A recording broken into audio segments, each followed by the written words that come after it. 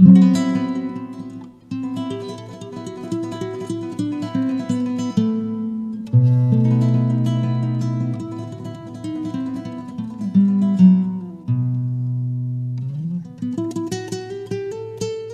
lo contaron ayer. Las lenguas de doble filo. Que te casaste hace un mes y me quedé tan tranquilo. Otro cualquiera en mi caso se hubiese echado a llorar. Yo, gozándome de brazos, dije que me daba igual. Nada de tirarme un tiro, ni enredarme a maldiciones, ni de apedrear con suspiros los vidrios de tus balcones.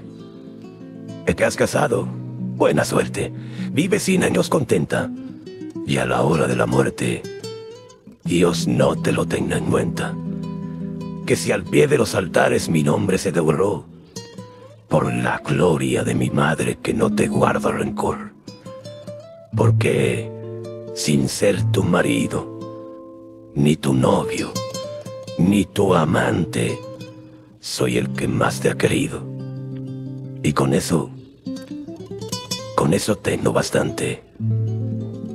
Y haciendo un poco de historia nos volveremos atrás, para recordar las glorias de mis días de chaval. Aquí en el niño Manuela, que anda como trastornado. Le noto cara de pena y el colorcillo quebrado. Ya no juega la pelota, ni tía piedras al río, ni se destroza la ropa subiéndose por el nido. ¿No te parece a ti extraño? No es cosa muy rara que un chaval de 12 años tenga tan triste la cara. Mira que soy perro viejo y andas demasiado tranquila. ¿Quieres que te dé un consejo? Vigila, mujer. Vigila. Y fueron dos centinelas los sofías de mi madre. Cuando sale de la escuela se va para los olivares. ¿Y qué es lo que busca ahí? Una niña. Tendrá el mismo tiempo que él. José Manuel. Hola, riñas. Que está aprendiendo a creer. Mi padre encendió un pitillo. Se enteró bien de tu nombre. Y te compró unos arcillos. Y a mí, a mí un pantalón de hombre. Yo no te dije te adoro, pero amarré a tu balcón mi lazo de seda y oro de primera comunión. Y tú fina y orgullosa, me ofreciste en recompensa la cinta color de rosa que engalanaba tu trenza. Voy a misa con mis primos. Bueno, te veré la ermita. Y qué serios nos pusimos al darte el agua bendita de vuelta del campanario, cuando rompimos a hablar. Dice mi tita Rosario que la cigüeña sagrada. Y el colorín, y la puente, y el rocío, y el bronce de esta campana, y el romero de los montes, y aquel torito valiente que está bebiendo en el río, y aquella cinta lejana que llamea en el horizonte. Todo es sagrado, cielo y tierra, porque todo lo hizo Dios. ¿Qué te gusta más? Tu pelo, qué bonito me salió. Y tus manos redonditas, y tus pies fingiendo el paso de las palomas duritas. Con la pureza del copo de nieve te comparé, te revestí de piopos de la cabeza a los pies.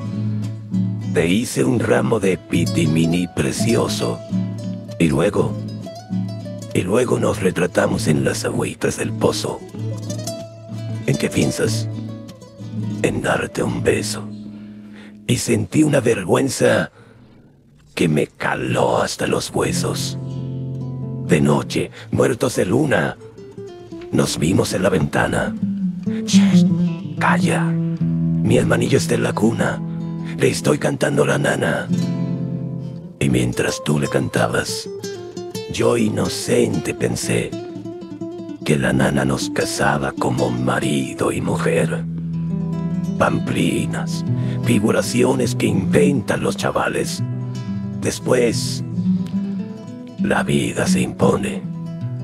Tanto tienes, tanto vales. Por eso hoy, al enterarme que llevas un mes casada. No dije que iba a matarme, sino que me daba igual. Mas como es rico tu dueño, te vendo esa profecía.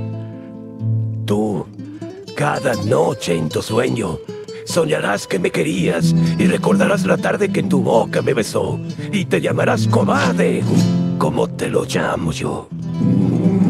Y verás, sueña que sueña, que me morí siendo chico, que se llevó una cigüeña mi corazón en el pico. Pensarás, no es cierto nada, yo sé que lo estoy soñando, pero allá en la madrugada te despertarás llorando por el que no es tu marido, ni tu novio, ni tu amante, sino el que más te ha querido. Y con eso, con eso tengo bastante. Por lo demás, todo se olvida.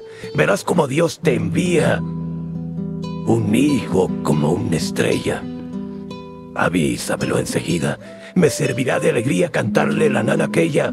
Quítate de la esquina, chiquillo loco, que mi madre no quiere ni yo tampoco. Pensarás, no es cierto nada. Yo sé que lo estoy soñando.